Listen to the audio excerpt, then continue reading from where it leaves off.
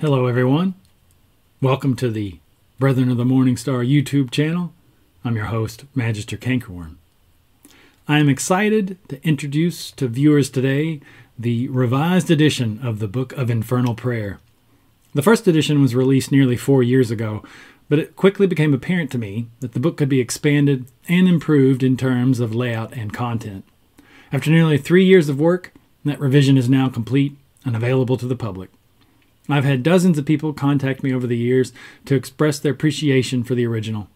I hope and believe this revised edition will take what was already a good resource for Diabolists and make it truly great. The version I am reviewing today is the linen bound, uh, that is available only at Lulu. The ebook is currently available at most of uh, major online book retailers, and the paperback version should be soon as well. I'm not offering the hardcover at retailers like Amazon because that will jack the price of it up substantially for everyone.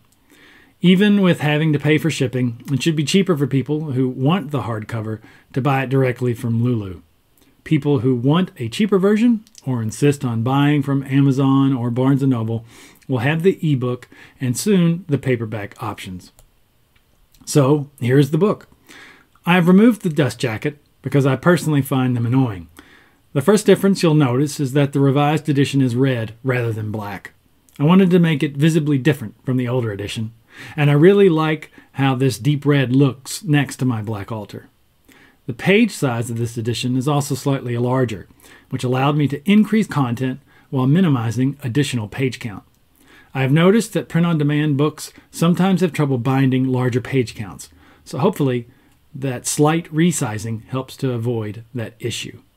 And, and I do want to mention here, just in case uh, anyone gets confused, the bookmarks that you might see in these pictures I have installed myself. Those do not come with the book, but if you want to put some of your own on, it's easy enough to do. I just took a, a few different strips of ribbon and bound them together using electrical tape, and then you stuff that into the spine, and voila, you have yourself some nice little bookmarks.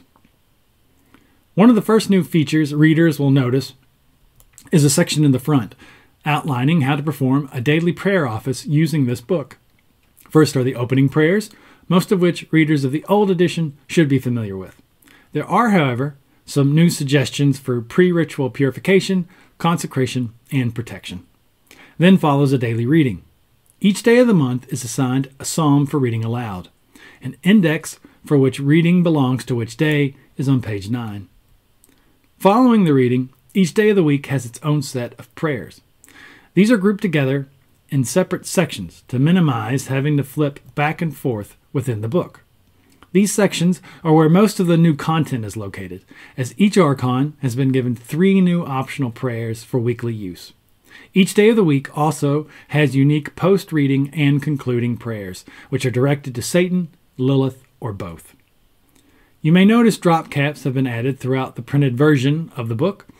Uh, these and some other images have been added for aesthetic appeal only, but I think they really make the hard copy versions have a much more talismanic quality due to them.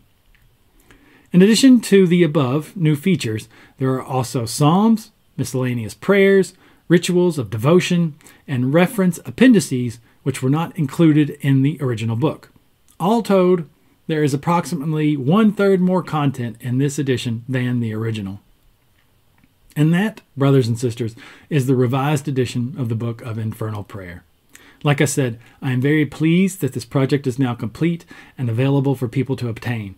Not only because I think my fellow theistic Satanists will find it valuable, but because now I can finally put the prayer book aside and focus on other projects.